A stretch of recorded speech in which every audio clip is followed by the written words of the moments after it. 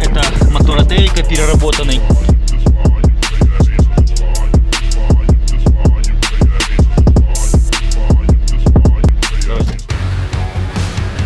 Уверенный старт одной педали.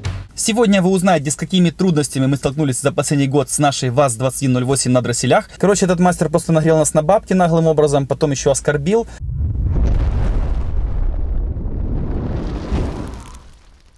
Друзья, всем привет! Вы на канале Крутящий Момент. Сегодня к нам в гости приехала Hyundai Sonata, машина 2017 года, 2 литра турбо, в ней 245 сил.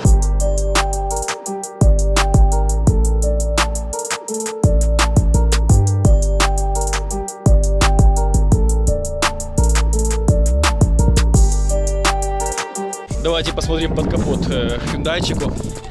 Вот он, Turbo GTI. Ходили, поверя, что это мотор от Эвика переработанный. Честно говоря, точно не знаю. Кто-то еще знает, напишите.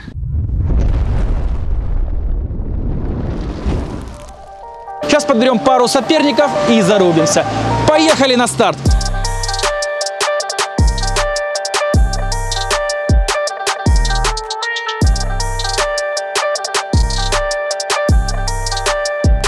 Avalon 3.5 атмосфера против Hyundai Sonata 2 литра турбо. Машины примерно в одном классе, примерно равные по мощности. Обе на переднем приводе.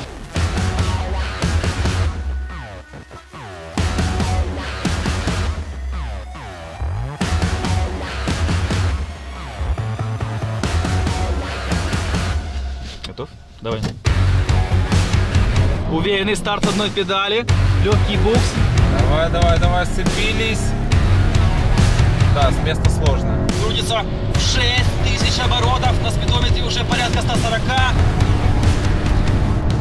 Пиздуй, смотри, а? Нормально. Что, проблемы с зацепом, влажная погода. Сейчас попробуем перезаехать второй раз. Если что, будет более объективным заезд ходом. Электронику выключила? Ну все, должна объехать от Hyundai. Доказать, что Toyota еще что-то достойно. Постараемся.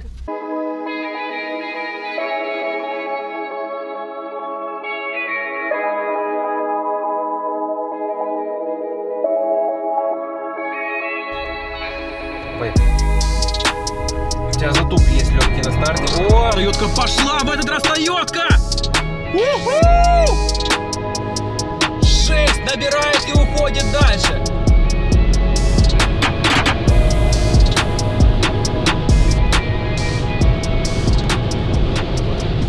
Мы первые. Вот это совсем другое дело.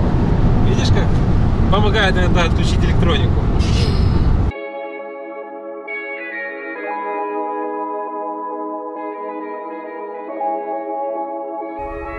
Давай, давай, жми. Давай, давай, жми. Давай, давай, давай, жми, ничего страшного, поехали. Нет, сунут капитально.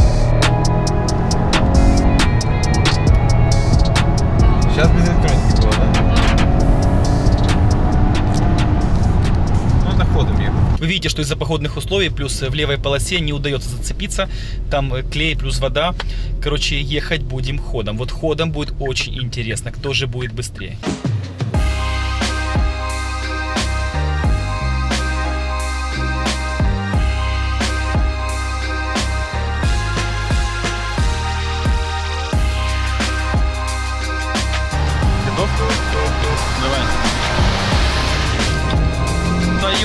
Тойотка впереди на пол шишечки идет. Ай-яй-яй-яй-яй-яй, ребята, переломный момент в этом заезде. Тойота уходит. Уходит, видимо, из-за объема. Жесть, разрыв серьезный. Ну что, ходом Авалон впереди.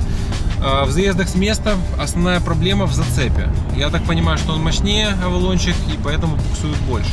Сейчас делаем второй раунд ходом. Возможно, что-то у хюндайчика не срослось. Такие, может, корейские пони не заскакали во всю мощь. Короче, сейчас проверим во втором раунде, в решающем. Давай. Давай. А вот сейчас получше Toyota сзади. Но, ребята, Авалон берет свое. Причем Авалон очень уверенно попер. Разрыв уже довольно большой. Ну что, Toyota делает вещи? Да. Да. Hyundai курит бамбук. Все заезды с места были за Hyundaiчиком. Честно, что реализация на 0402 у Hyundai лучше, но ходорем по трассе Авалон таки бог. Бог, царь и король. После тюнинга моего автомобиля остался катализатор. Я, как человек бережливый, решил сдать его. За катализаторы дают хорошие деньги. Катализаторы со всех своих автомобилей я сдаю только своим друзьям из катализатор Опт Одесса, потому что они много лет занимаются этим вопросом и дают честную цену.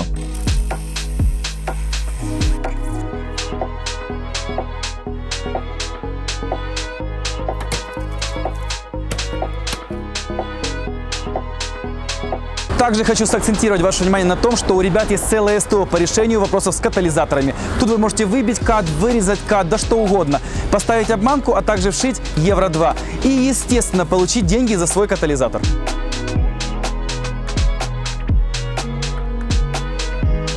Филиалы для приема катализаторов есть в крупных городах Украины. Киев, Одесса, Харьков. А также можно отправить по почте. Ссылка на прием катализаторов будет в описании к сегодняшнему видео. Всем рекомендую. Ну а мы продолжаем. Поехали! Следующим соперником будет Passat 3.6 на переднем приводе. Очень грозный соперник. Посмотрим, сможет ли он зацепиться.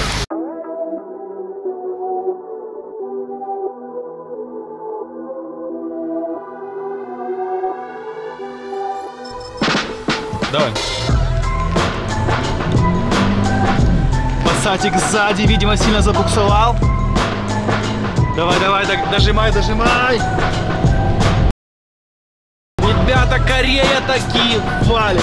Победа за корейским жеребцом. Вот он. Все. Шансы у Пассата были, но, видимо, из-за объема он сильно перебуксовал. Э, Хюндайчик, э, скажем так, реализовал лучший потенциал машины. Было меньше букса и э, лучший старт и скорость.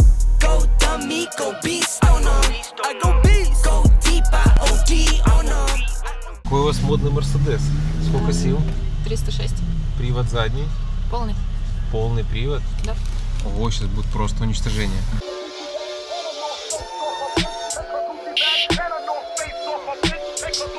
Вот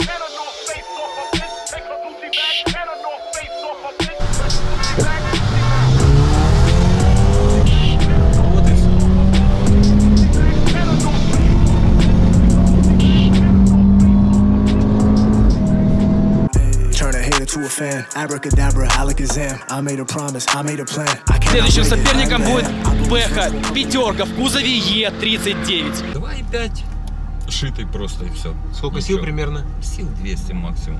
Ага. Ну, привод задний.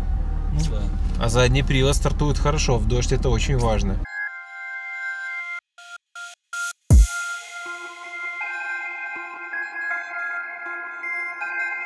Давай.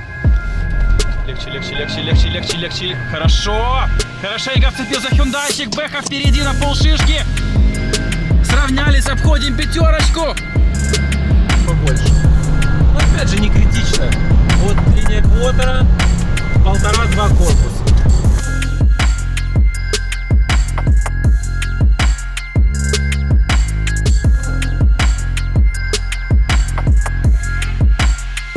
BMW 328. Карим, что ты делал? Стейдж 2, коробка. Сколько сил? Ну, недавно замерялся на стенде, 305 показал. Hyundai просто нет шансов. Но мы все равно посмотрим на это изнасилование.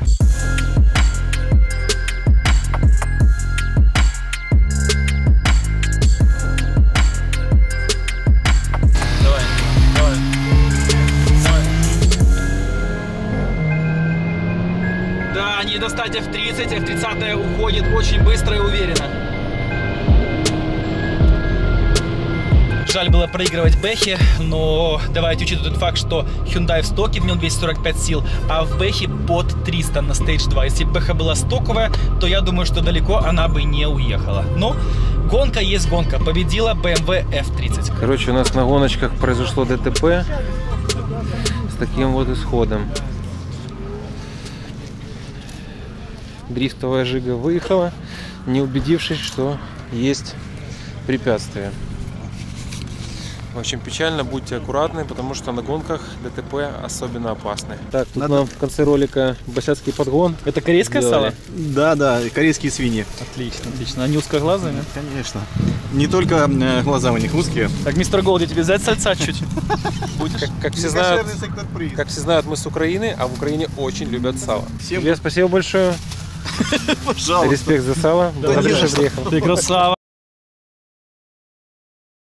Сегодня вы узнаете, с какими трудностями мы столкнулись за последний год с нашей ВАЗ-2108 на дросселях, а также я поведаю вам про чудо-мастера из Харькова, которого нам порекомендовал наш знакомый. Мастера величают как Алексей Спорткросс. В последнем ролике нашем с ВАЗ-2108, который я выпускал год назад, э, я в конце видео упомянул о том, что мы высылаем головку блока цилиндров в Харьков на ремонт.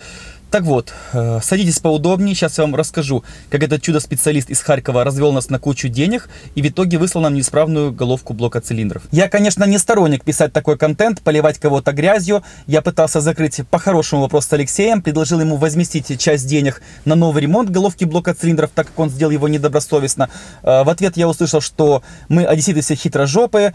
Ну, Алексей, держитесь. Сейчас вся страна узнает, какой вы хороший специалист. Начинаем по порядку. Э, Я пожаловался своему товарищу Роману, у которого турбоваз из Харькова, о том, что мы не можем отремонтировать наш ВАЗ-2108. В Одессе нет квалифицированных специалистов для решения таких задач, а если и есть, то они берут такие космические деньги, что это просто не имеет никакого сенса.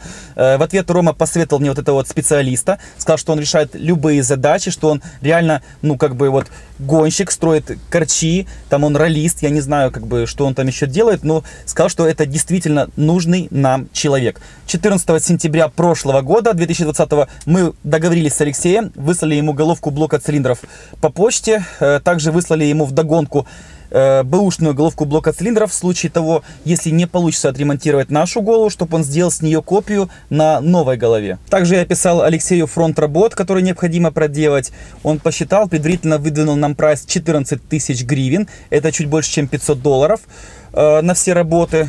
Э, В принципе, этот прайс, скажем так, не дешевый, слегка завышенный, но у нас вариантов не было. Головка у него, все у него, ну, решили такие делать. Э, Затем Алексей начал какие-то ремонтные работы, э, сварку седел, э, пересадку седел, скидывал фотографии, фотоотчеты. После оказалось, что у нас погнутые клапана. Хотя ранее Алексей сделал дефектовку и выдвинул прайс 14 тысяч гривен. Пришлось покупать новые клапана, мы выслали ему 4 тысячи гривен на покупку клапанов. Э, Клапана купить он нам не смог. Пришел как вроде отказ, не отказ, я не знаю. Короче, в любом случае 4000 гривен лежало у него. Э, Потом, скорее всего, это было, чтобы он деньги нам не возвращал. Каким-то образом он нам их порихтовал на 4000 гривен. Ну, окей, хорошо. Таким образом, э, на работы мы потратили уже 18 тысяч гривен. 14 тысяч гривен сразу и еще 4 далее. Также мы купили пружины Opel, на это пошли растраты, но окей, пружины-то в любом случае пришлось бы покупать, мы это понимаем.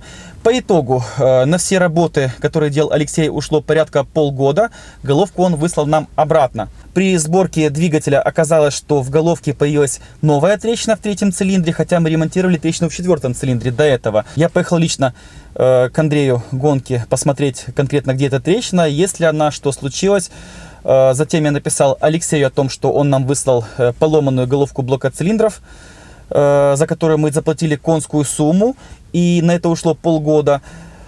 В ответ он нам предложил выслать головку ему обратно на ремонт, но она у него лежала полгода. Сколько она у него? Еще полгода лежала. Я ему написал, что такой вариант нас не устраивает, что нам необходимо выехать. Ну и дальше понеслось-поехало. Он написал, что одесситы все хитрожопые, что ничего он платить не будет. Короче, этот мастер просто нагрел нас на бабки наглым образом, потом еще оскорбил.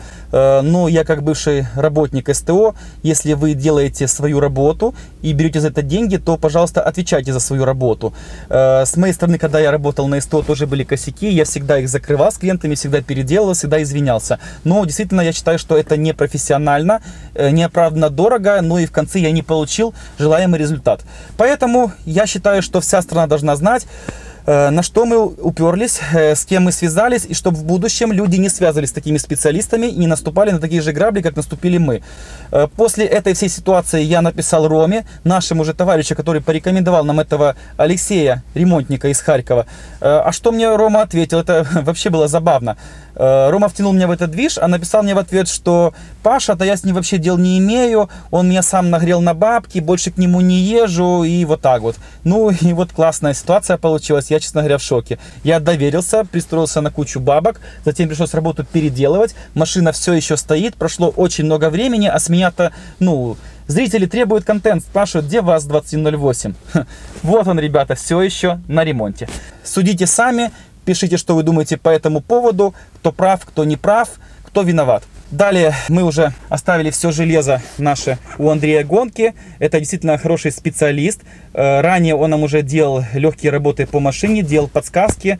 Мы снимали его у нас на канале. Э, Поэтому я думаю, что машина действительно в надежных и проверенных руках на сегодняшний день. И есть шанс, что скоро мы выйдем на нашей ВАЗ-2108 и снимем крутой контент.